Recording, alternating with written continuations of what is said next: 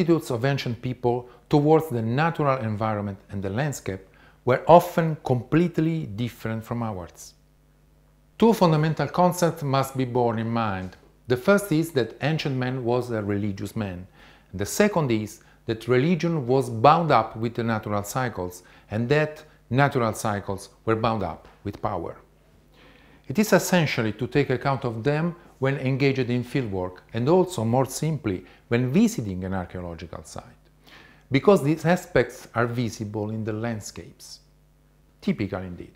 The monuments studied by archaeoastronomy are immersed in landscapes which were of special, sacred significance for the people who built them.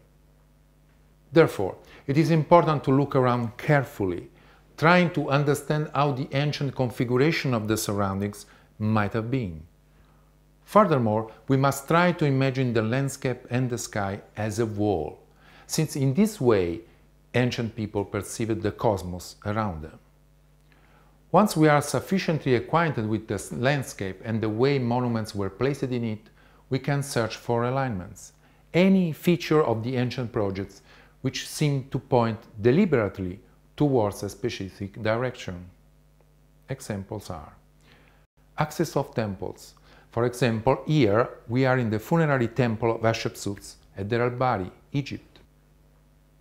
Entrances of tombs like the tumulus of Maeshowe in the Orkney Island, or main roads of ancient towns like the so-called Street of the Dead in Teotihuacan, Mexico, and so on. Measuring alignments is not enough, however. We must make an accurate relief of the visible horizon. In fact, we need both azimuth and altitude to identify the position of a celestial object, that is, declination. Further, prominent features at the horizon may be of cultural interest, such as sacred mountains, special profiles, or other interrelated monuments. Now you are ready to watch at any site you visit with an archaeoastronomy eye. It is possible to measure alignments and horizon aids with high-precision survey instruments, the theodolite or total station and the GPS. However, also with very cheap and simple instruments, it is possible to have a clear idea of what happens. To measure azimuths, we can use the magnetic compass.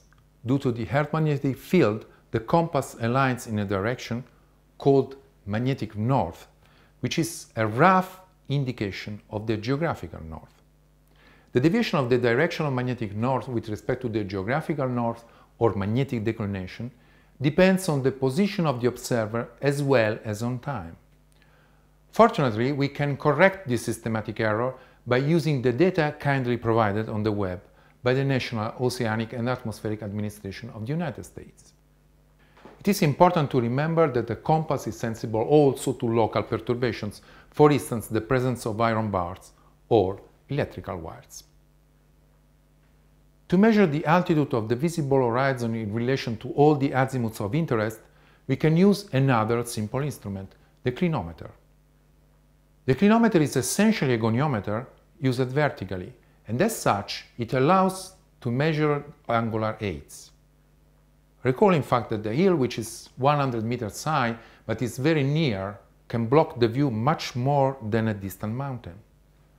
Finally, the use of virtual globe softwares, like for instance Google Earth, can be very useful to check the reliability of our results. In particular, the ruler option can be used to measure distances and azimuths. The elevation profile option can be used to measure horizon aids.